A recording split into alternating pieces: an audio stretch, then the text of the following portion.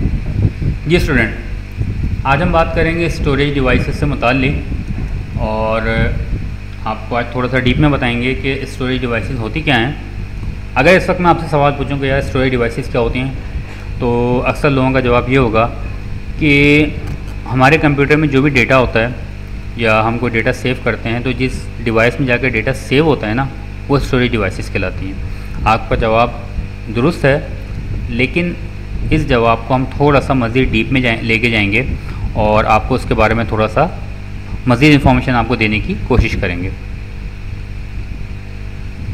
Storage devices को समझने के लिए दो डेफिनेशन अगर आप पहले समझ लें तो आपको काफ़ी हेल्प हो जाएगी।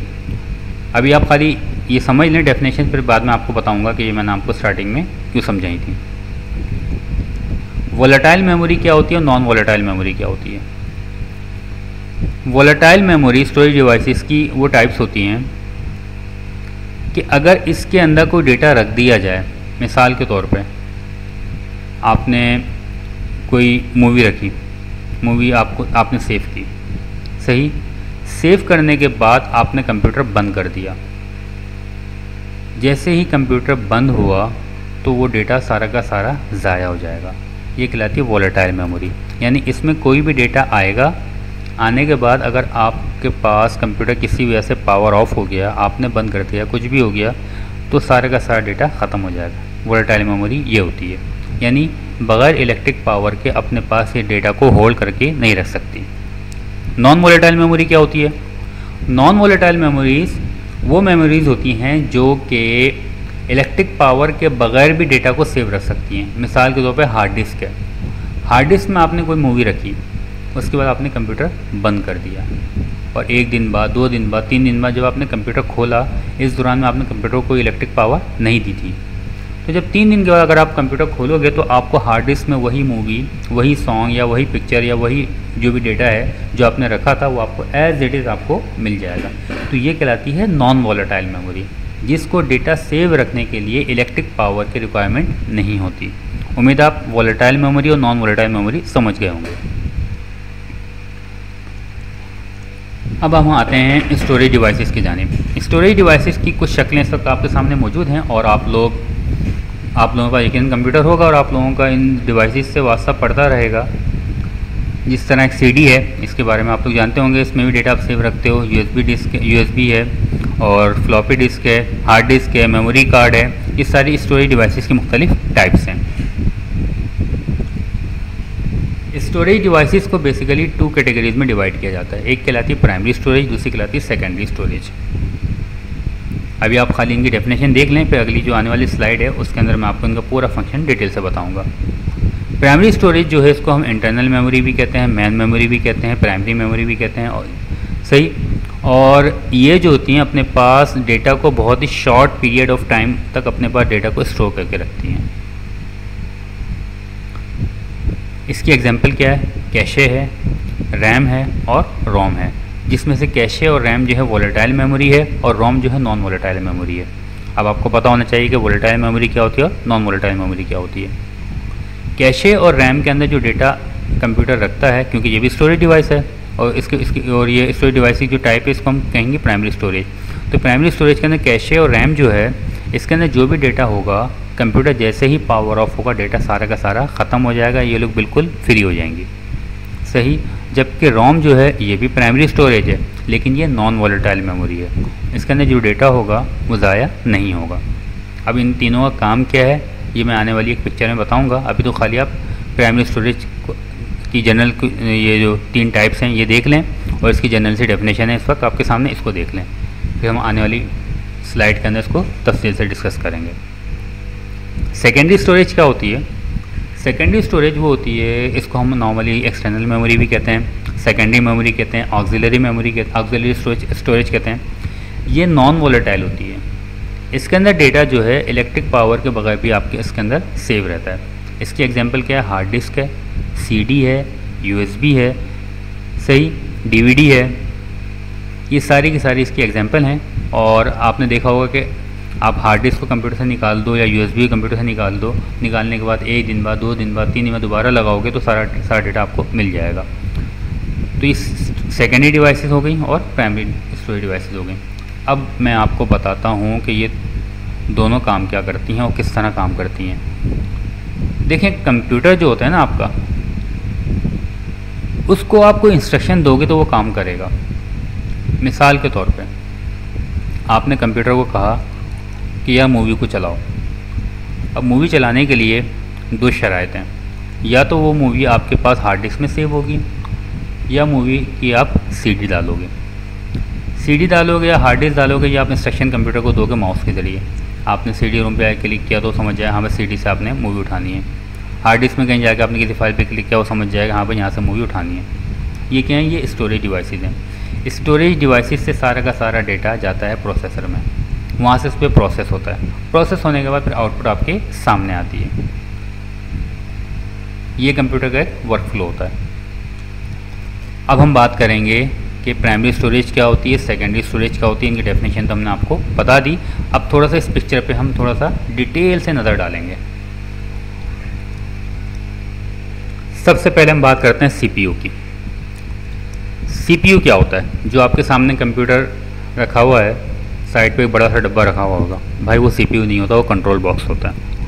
सीपीयू उसके अंदर लगा हुआ होता है मदरबोर्ड के ऊपर। बड़ी सी आईसी चिप लगी होती है जिस पर पंखा चल रहा होता है। आपने देखा होगा मदरबोर्ड के ऊपर डायरेक्ट पंखा किसी डिवाइस पे लगा हुआ होता है। वो सी पी यू कहलाता है, उसको ठंडा करने के लिए। उसको ठंडा क्यों कर रहा होता है? क्योंकि सबसे गर्म वो हो रहा होता है। वो सबसे गर्म क्यों होता है? भाई, सबसे ज़्यादा काम ही वही करता है। इससे सबसे ज़्यादा गर्म भी वही वही होता है। सही? सीपीयू जो है आपके कंप्यूटर का सबसे ज़्यादा अहम कंपोनेंट है। सबसे ज़्यादा काम भी वही करता है, सबसे ज़्यादा फास्ट भी वही होता है। आप कोई भी इंस्ट्रक्शन देते हो, उसका सारा प्रोसेस कहाँ होता है? सीपीयू में होता है। लेकिन उस प्रोसेस करने के लिए आपको डेटा चाहिए होता है। सीपीयू को डेटा चाहिए होता है। अगर आपने उसको मूवी चलाने के लिए बोला या कोई काम, कोई कैलकुलेशन करने के लिए बोला तो बोलेगा, भाई मुझे डेटा तो दो। वो डेटा उसको कहाँ से मिलेगा? वो मिलेगा उसको स्टोरेज डिवाइसेस से। वो स्टोरेज डिवाइसेस जो है नॉर्मली आपके पास, आप देखते हो कि हार्ड डिस्क है। उसमें आप, आपने मूवी रख दी। या उसमें देखते हो, आप देखते हो, क्या नाम है अपना सी डी रोम है सी डी में मूवी रख दी। वो सारा का सारा डेटा जो है सी पी यू पर डायरेक्ट नहीं जाता रैम में जाता है। जो करंट प्रोग्राम जो चल रहे होते हैं, जो करंट इंस्ट्रक्शन से चल रही होती हैं, वो सारी की सारी रैम के पास जाती हैं। रैम से सी पी यू लेता है सारा डेटा वजह क्या है इसकी? डायरेक्ट इनसे क्यों कोऑर्डिनेट नहीं करता? रैम को बीच में इन्वॉल्व क्यों किया है? भाई, रैम जो है, रैम और कैशे जो है, ये प्राइमरी स्टोरेज डिवाइसेज हैं। ये दोनों हैं सीपीयू के असिस्टेंट ये दोनों बहुत ज़्यादा फास्ट होती हैं। हार्ड डिस्क के नस्बत सी डी रोम के नस्बत यू एस बी के नस्बत बहुत ज़्यादा फास्ट होती हैं। सही? तो सी पी यू चूँकि एक फास्ट डिवाइस है तो उसको कम्युनिकेशन करने के लिए भी अगले एंड पर फास्ट डिवाइस चाहिए होती है। तो वो रैम और कैशे होती है। ये दोनों इसको हेल्प कर रही होती हैं काम करने में। तो जितना भी हार्ड डिस्क से सारा डेटा उठ के पहले रैम में जाता है, जो भी आप प्रोग्राम चलाते हो, जो भी आप फ़ाइल खोलते हो तो उसकी कॉपी उठ के हार्ड डिस्क के रैम में जाती है। वहाँ से सीपीयू उसके ऊपर उसको लेता है, उस पर एक्शन परफॉर्म करता है और रैम को रिप्लाई करता है। तो रैम और कैशे जो है प्राइमरी स्टोरेज हैं। ये सीपीयू के बहुत ही करीब लगी होती हैं, बहुत ज़्यादा फास्ट होती हैं सीपीयू को काम करने में असिस्ट करती हैं सीपीयू को काम करने में हेल्प देती हैं। इसके नस्बत हार्ड ड्राइव है। हार्ड ड्राइव जो होती है या सी डी रोम हो गया, ये ये दोनों कहलाती हैं सेकेंडरी स्टोरेज ये दोनों स्लो होती हैं. हार्ड ड्राइव हो गया सी डी रोम हो गया यूएसबी हो गया, टेप टेप ड्राइव ये लोग स्लो होते हैं. और ये लोग जो होते हैं नॉन वोलेटाइल होते हैं. जबकि कैशे और रैम जो होते हैं, ये दोनों प्राइमरी स्टोरेज थी और ये दोनों बहुत ज़्यादा फास्ट होते हैं, लेकिन वॉलेटाइल होते हैं. कोई भी काम करना होगा तो परमानेंट डेटा सेव होता है हार्ड डिस्क में या सी डी रोम में या यूएसबी के अंदर। जब भी कंप्यूटर स्टार्ट होगा स्टार्ट होने के बाद यहाँ से डेटा उठ के रैम में जाएगा, फिर रैम से डेटा उठ के सीपीयू में जाएगा, जहाँ पे कैशेस को हेल्प कर रहा होगा काम करने में। उम्मीद है आपके सामने थोड़ी सी पिक्चर क्लियर हो रही होगी। अब हम बात करते हैं इस पूरे वर्क फ्लो की। लेकिन सबसे टॉप पे होता है सीपीयू जो सबसे ज़्यादा काम कर रहा होता है उसमें और उसके अंदर जो है रजिस्टर वगैरह लगे होते हैं। ये समझिए सी पी का सेक्शन है। सीपीयू के अंदर ही आपके पास कैशे लगी हुई होती है, जो कि सी को फ़ौर इसकी समझें कि फ़र्स्ट लेवल की उसकी असिस्टेंट है ये कैशे सी काम करने में तेज़ी से काम करने में मदद देती है। सीपीयू के पास सारा का सारा डेटा कहाँ से आता है? रैम से जाता है। रैम बीच में आ गई सही है ना? रैम क्या करती है? हार्ड डिस्क के जो नीचे हार्ड डिस्क लगी होती है या सी डी रोम लगा हुआ होता है, वहाँ से सारा डेटा लेके सी पी यू को दे रही होती है। और यहाँ से जो जवाब मिल रहा होता है, यहाँ से लेके उसको रिप्लाई कर रही होती है। लेकिन अच्छा यहाँ पे मैं एक बात आपको बताना भूल गया था कि रैम और कैशे जो प्राइमरी स्टोरेज डिवाइसेस हैं, ये मैंने आपको स्टार्टिंग में बताया था कि ये दोनों वोलाटाइल हैं। यानी इनको इलेक्ट्रिक पावर चाहिए होती जैसे ही आपने कंप्यूटर को बंद किया तो रैम और कैशे में जितनी इंस्ट्रक्शंस थी, जितने उस वक्त प्रोग्राम चल रहे थे, सबके सब बिल्कुल रिफ़्रेश हो जाता है, ख़त्म हो जाता है। जबकि hard drive C D ROM U S B इनके अंदर अगर आपने एकदम पावर बंद कर दी तो इनके प्रोग्राम इनके अंदर सेव रहेंगे। तो यहाँ पे जो है रैम ये सारा डेटा किससे लेती है? अपना हार्ड ड्राइव से और फ्लैश ड्राइव से इनसे सारा डेटा लेके ऊपर सीपीयू को ट्रांसफ़र कर रही हो ताकि सारा प्रोसेस हो। तो सबसे ज़्यादा कम फास्ट कंपोनेंट आप एक फास्ट स्टोरेज डिवाइसेस आपके पास कौन सी होती है? कैशे होती है। उसके बाद जो होती है रैम होती है, उसके बाद सॉलिड स्टेट डिवाइसेस होती हैं। सॉलिड स्टेट डिवाइसेस कौन सी होती हैं? जो कि फ्लैश मेमोरी यूएसबी जो आपके पास मौजूद है। और इसमें एक नई हार्ड डिस्क आई जिसे हम कहते हैं एसएसडी, सॉलिड स्टेट डिवाइसेस। और एक उसके बाद जो आज जो मैकेनिकल ड्राइव और इसके अंदर जो आती हैं, आपके पास जो वो होती हैं, क्या कहते हैं अपना, स्टोरेज टेप जो होती है, ये सारी इससे कम स्लो डिवाइसेस होती हैं। अच्छा आपसे एक सवाल है, क्या आपका कंप्यूटर ऐसे भी होते हैं कि जिसमें स्टोरेज डिवाइसेस ना हो? जी जनाब, ऐसे होते हैं जिसमें हार्ड ड्राइव नहीं होती। और ऐसे कंप्यूटर को हम कहते हैं डम टर्मिनल और ये लोग कौन से स्टोरेज को इस्तेमाल करते हैं? ये लोग नेटवर्क की स्टोरेज को इस्तेमाल करते हैं।